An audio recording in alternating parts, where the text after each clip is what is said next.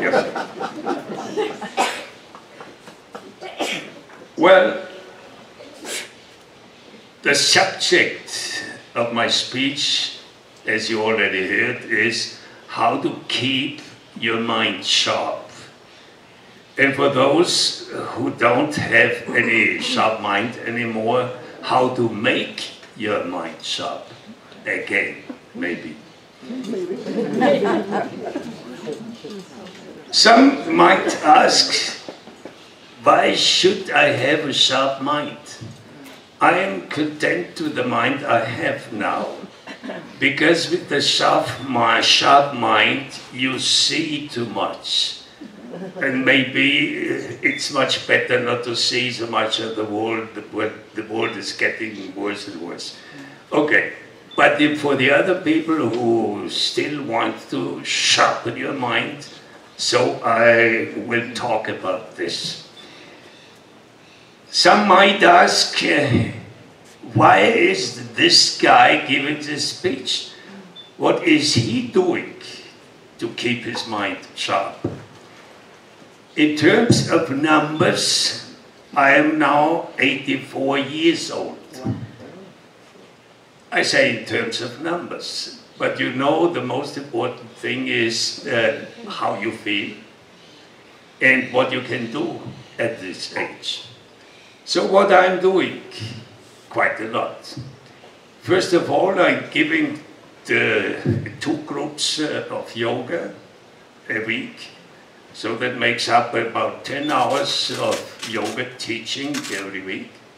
Then I work at home another couple of hours. I play tennis, pickleball, and uh, uh, I uh, do some dancing. So that's for the body. So keeping the body uh, in a good shape and especially keep the body flexible. Because the body is the basis for your mind. A stiff body, even if you don't believe it, makes your mind stiffer and stiffer. So that's what I'm doing for keeping the body sharp. The second thing is what I'm doing for the mind. I am writing and I am making a lot of videos in YouTube about all kinds of subjects, from poetry to uh, theater, from philosophy to meditation. And I uh, do these um, videos in three languages. So uh, that keeps my mind sharp because the philosophies or the philosophers I'm producing, acting, not just talking about Nietzsche, acting Nietzsche because as an actor, I don't like to talk about, I, I want to feel it. So that's for the mind.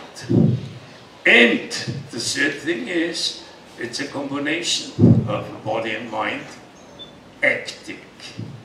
Because uh, when you act, you need some memory to memorize uh, the text. And I have a double difficulty because I have to memorize the text and also in Spanish, though I have to learn it uh, twice. And acting is being totally in the present moment. And I have to trust my memory because uh, I play uh, mostly monologues lately because I live in Jocotepec, I don't have any theater group anymore, so I'm acting monologues. And in a monologue, you are alone, alone on the stage. And I need my memory. So, yoga, writing, producing videos, and on the other hand, combining it by acting. So that's what I'm doing at my age. I have no problem with moving and so. And once a year, I'm still dancing belly in, uh, in Jocotepec and the Nut nut neck, nut, uh, nutmeg, yeah, the, uh, the mark. So that's how I keep my mind sharp. Now let's talk about three basic elements. Body, breathing, and the mind. The working your body is very important because the body is always in the here and now. You cannot transport your body somewhere else and leave part of the body here. The body is always in the here and now. And it is a basis for the mind. The mind is seldom completely in the here and now. So we use the body, the presence of the body, as an anchor to tie the mind in the present moment, in the here and now. We will talk about this uh, later when we talk about the mind. So, working the body. Today we have so many possibilities. Uh, I don't talk uh, about yoga because many people say yoga is too complicated for me. I cannot sit anymore on the floor. No problem. You have heard about chair yoga. But there are classes here about chair yoga. So everybody can do chair yoga. So you, you sit in your chair you even can watch the television and not see lost when you lose two or three scenes. And the most important thing is to keep your spine flexible. Because when the spine is getting stiffer, and it's getting stiffer if you don't do anything, so it affects the mind. The mind becomes uh, not flexible anymore. You cannot react spontaneously. So do, do some simple exercises like bending forward and bending backward, bending forward and bending backward and uh, twisting and twisting. I cannot give uh, a whole class here. But uh, take uh, chair yoga. And even it's not necessary to take a class three times a week that's nearly useless. There is what I call the yoga of five minutes. Okay, in the morning you do some exercises uh, against the wall, wall exercises and uh, in the bathroom, five minutes. Then you get your breakfast and after two or three hours you do some exercises, you sit there and you do some exercises, some exercise. The yoga of five minutes spread over the whole day. And in the evening, when you go to bed, the body is not stiff and you cannot sleep because the body is so stiff. You, you will reach the evening with the body with less tension because the, during any activities during the day, the tension uh, uh, accumulates. And if you get not rid of the tension of this day, you take it away to the next day, in the next day, in the next year, and then you need to stick and then the more practice. It's just laziness. Because today we have so many possibilities, even YouTube is full of videos, simple videos about chair yoga. But uh, five minutes and you work your body. And also very important, check your uh, body posture. You can do it, check it against uh, the wall. Because there are people, they cannot do this exercise anymore because of the hunchback. So you can check your posture if you're already like this. Okay, that's about the body as a basis for the mind. we do one little exercise because there is not no much space for bigger movements. What you always can do is the old sewing machine of grandmother, grandmother's sewing machine. So you, not if you want, you do it. If you don't want, no, no problem. You do it.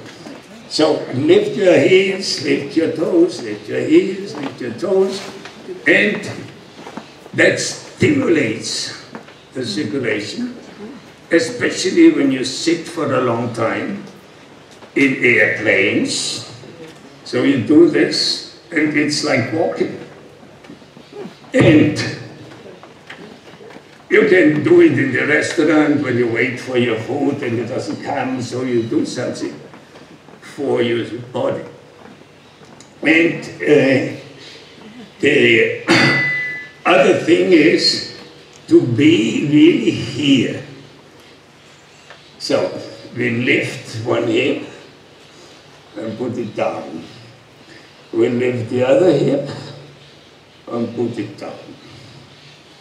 So up and down, and up and down. And we tremble on the floor.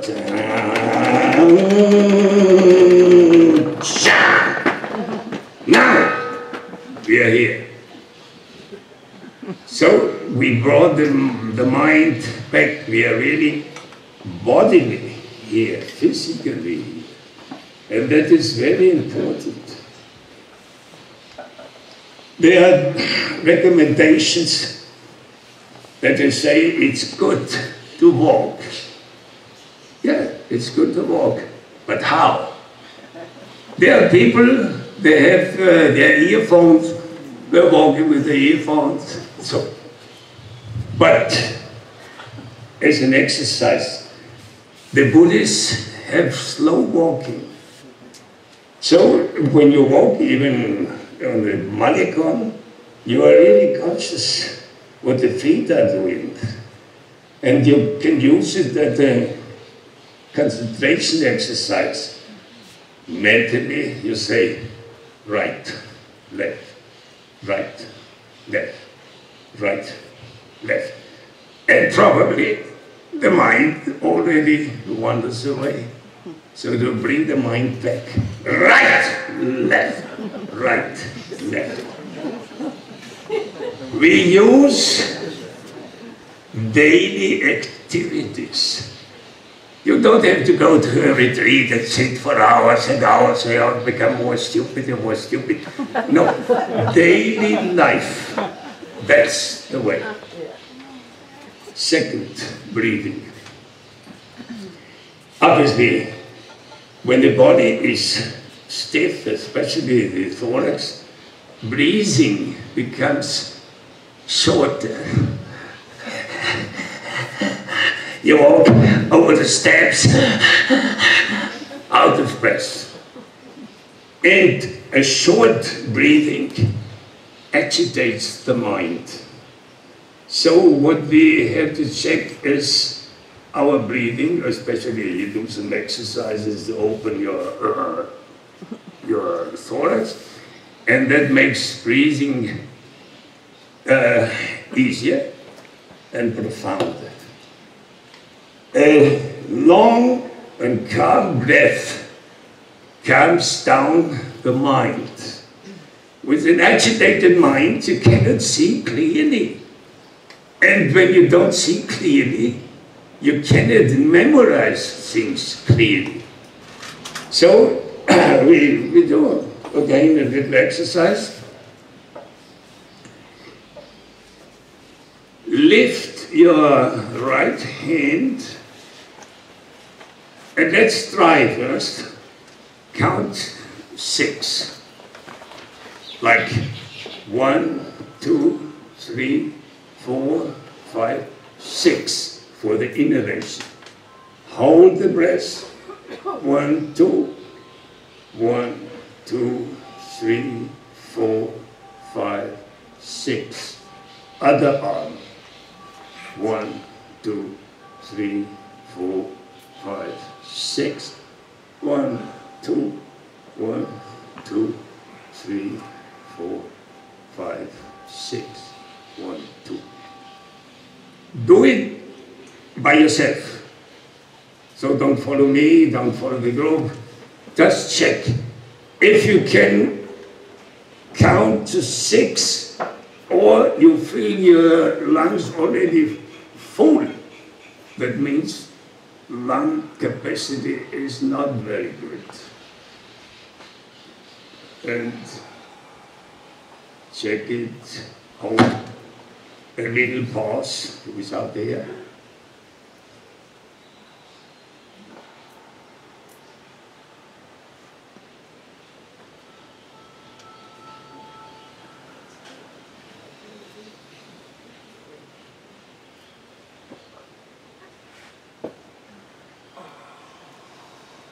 Okay.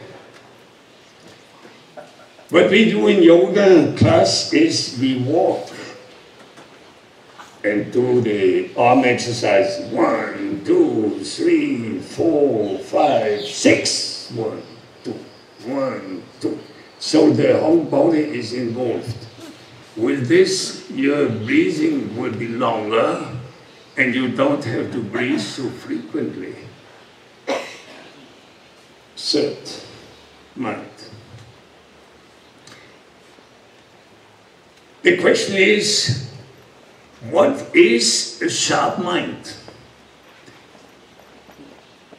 Obviously, a sharp mind is a concentrated mind. And the mind which is not sharp is a distracted mind. It's the normal mind of 90.9% of the people. A mind which you have no control over. The mind is thinking you, and you are not thinking your thoughts. One saw that, the other came to la la la la la la. And I was a teacher for many years of German. And German is not so uh, an easy language. And I could see how the capacity, the learning capacity is going down, down, down, down. The people have more problem with learning now. Why? Because so much bombardment, more much impression, 150 channels, and the constant distraction of the cell phone. The mind cannot digest all this. Okay. A concentrated mind is a sharp mind. And how to concentrate the mind. You have heard that because it's now a big fashion, mindfulness. It's an old thing from the Buddhists, 200, 500, 2,500 years old, but the Westerners, they are just uh, discovering now. and what is in mindfulness? Being with the mind and what you are doing at this moment. When you are walking, as I said before, don't use uh, uh, music because the mind is in the music and the body is there. When you are walking, you walk. When you're conscious about what the feet are doing, what I explained before. So mindfulness is keeping the mind in the present moment and the sentence uh, or the phrase what they are using, the task at hand. What is the task at hand? In the morning, you prepare your uh, morning coffee. That's your task. And what should you do? The mind should be what the hand are doing, uh, and then most people, they prepare your coffee and then they start drinking and the mind is spacing out, spacing out. Why are you preparing your coffee? The mind is not here. It, it's not enjoying the coffee. You probably know about the Japanese tea ceremony. Slow. And they savor the tea in a very quiet environment it's like a ceremony. But the Americans invented fast food. Fast food, fast food. Time is money. Fast food, fast food. Imagine the person who invented this stupid sentence, time is money. Must he be a completely idiot? Time is life. It's not money. Time is life. And if you have a lot of money, but little time, and death is coming nearer, all your big money doesn't, doesn't buy you any more time. Time is life. And as I see, we are, what say in Mexico, uh, third, uh, third, uh, yeah, the, the generation. No? We are all older and life is getting shorter. So what we should do is enjoy the last years of our life and how intensely, with sharp mind, being aware, enjoying each moment consciously. So, there comes the second element. First, mindfulness, and there, memory. The both go together. If you're doing something and the mind is not here, and you want to remember what you did, forget it. The impression is so weak that you cannot remember. So the more you are present, the more you are concentrated on what you are doing, the better will be the memory, will record everything on clarity.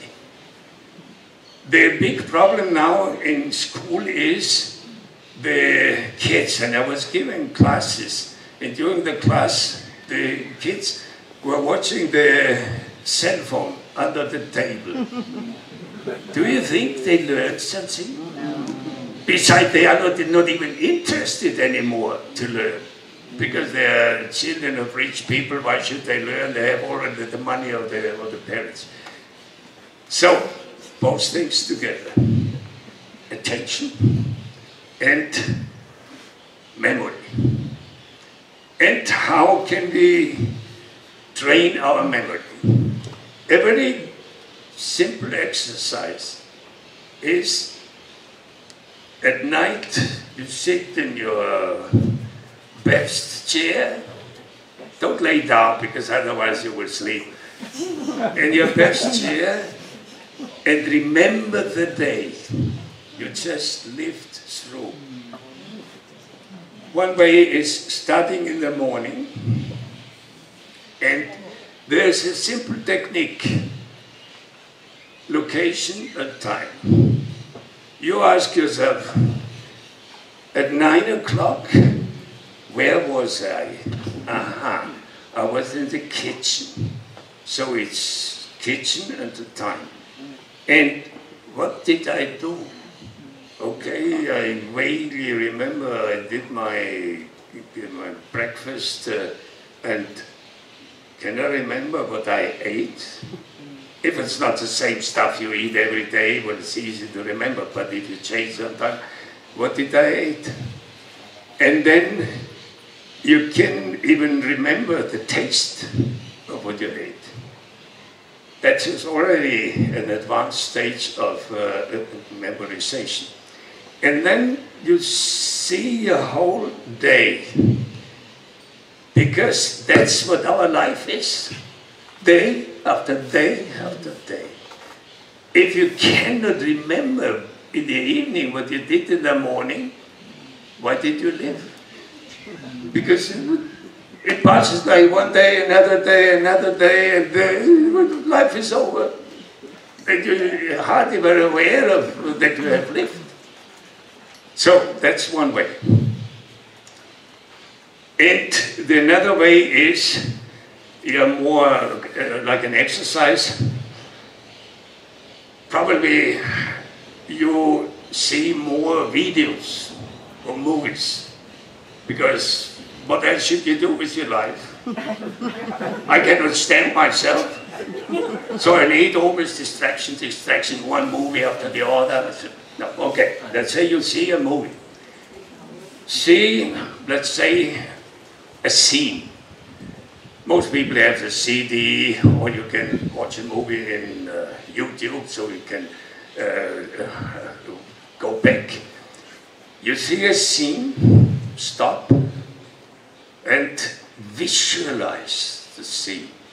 The actors and the background where the scene is uh, taking place and what they are talking about. And so you make a, a copy, a mental copy of the movie, and then you go back, watch the scene again, and you compare your mental movie with the real movie. There you can see how much you can remember. People who are still uh, reading, there are not many people anymore, but let's say some people are reading. You read a page, close the book, and imagine what you have read. Can you remember one page? And then you open again and compare what you remembered and what's really on the page. Involved in this is the capacity of visualization. If you have a vivid fantasy and you read, it's just a page with uh, black points on it. Uh, you, you transform it into your mental movie. So uh, the, a strong uh, imagination is the best thing for remembering because then you just look at the mental picture and you describe it like this. And that's easy. Describing a, a picture which you see, uh, obviously with your mental eye, it's not so difficult. So, these are some exercises. The uh, most recommended is re uh, remember your day. And another thing, which I consider craziness, look at the people when they are traveling. Picture, picture, picture, picture, and then they go home and they check, check, check, check, check, check. I don't take any pictures because when you are in a place and you're much more concerned about taking picture and picture and you're not really there. You're more uh, concerned about the good picture. When you're in a place and it's, it's a beautiful place, enjoy it. Take it in with all your five senses. In the photo, what is always excluded is the smell. I remember I have seen beautiful pictures of India. And when I went to India, what was the most, uh, the strongest impression? Smell. Because uh, lately it's changed, but uh, let's say in Bombay people are peeing in public and you pass by and it's heat and the smell, smell. You cannot uh, take a picture of the smell. So being in the place, enjoy it. well, even the smell. and then, when you are back home, you don't need the picture. You transport yourself again in the place, and believe me, everything is inside. It's only being present and all the sensations are coming up again. For example, probably some people of you can remember more clearly your childhood. Even I can, can go back to my childhood and, and, and feel the structure of a wood of a door. It's all inside. So, when you go traveling, enjoy it.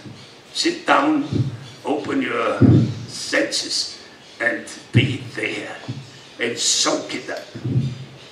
Okay, that still sounds nice, but now I come to a very, uh, to a point which many people don't like. Critical thinking. I know that people are no critically thinking everything is uh, fine, you are fine, I am fine, you have, you have tolerated, you have to tolerate everything, everything is fine. Okay. You stay like this. But with a sharp mind, you cut through.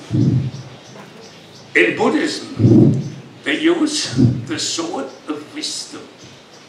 The sword of wisdom cuts through all the illusion, delusion, self-lies and whatever, cuts through. And that means you go deep. It's really sad how superficial most of the people today are.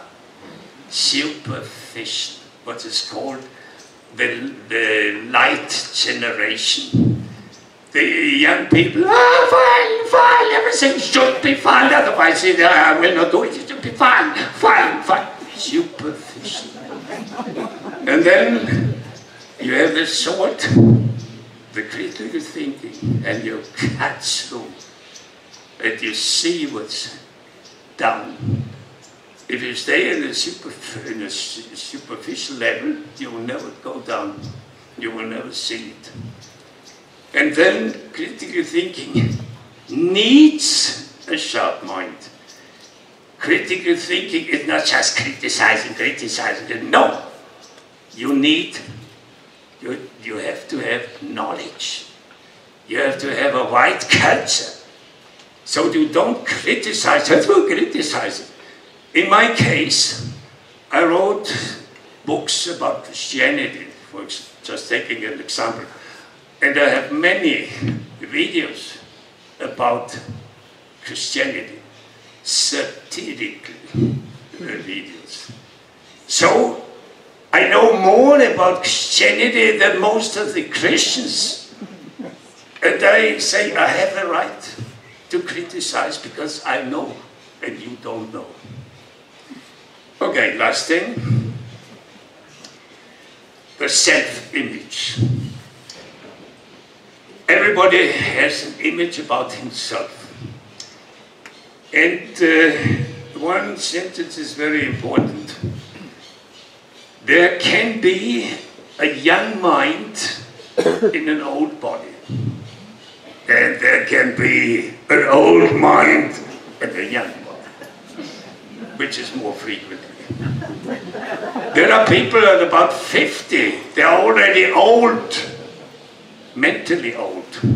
They are in a mental set which doesn't move anything. They are fixed. And there are physical old people. They are full of curiosity. They want to go learning new things. They are young in mind. So the numbers of your age, that's the reason why I said I, uh, uh, according to the numbers, I'm 84. But my mental image, I feel much younger because I can do nearly all the things which I did when I was 20. Yoga exercise, no problem. Same exercises I did when I was 20, 20, I can do at 84, no problem. So check your mental image. You can change it, but you have to do something. Change starts with the body. How do you feel your body? If you're dragging your legs like this, it's very difficult to feel young. So you cha, cha, cha, cha. That's what we're doing in the yoga class. Jumping, jumping, feel again like a child light, light, light. And check your worldview. Don't take any worldview from the television or from a political party. Be free. And I have to say also, check your religious belief.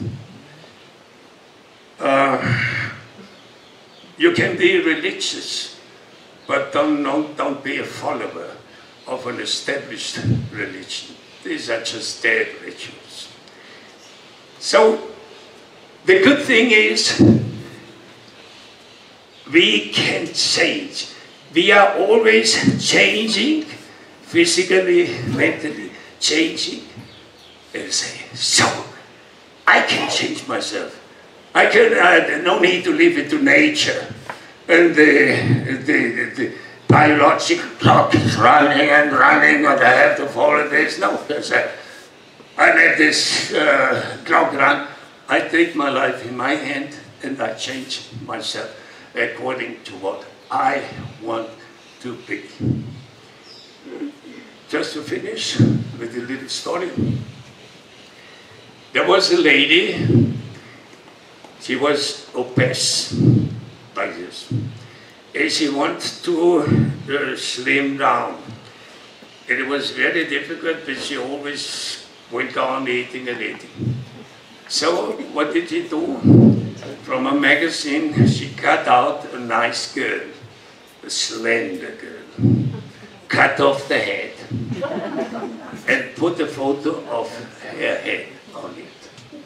And then she put this slender girl on the refrigerator. And every time when she went to the refrigerator, she saw herself with this slender body, and she stepped back. And according to this, she lost weight. If she, if she reached this slender girl, I don't know.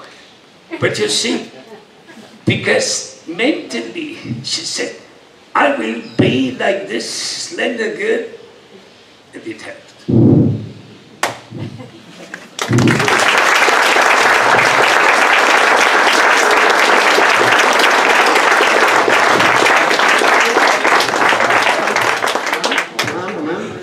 Okay, Well, thank you very much, Werner.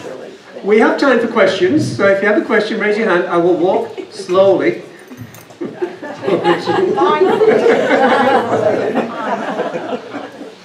Um, okay, who was? If you can stand so everyone can see you. Thank you. Um, I really enjoyed that talk partially because my birthday today, I'm 80 years old.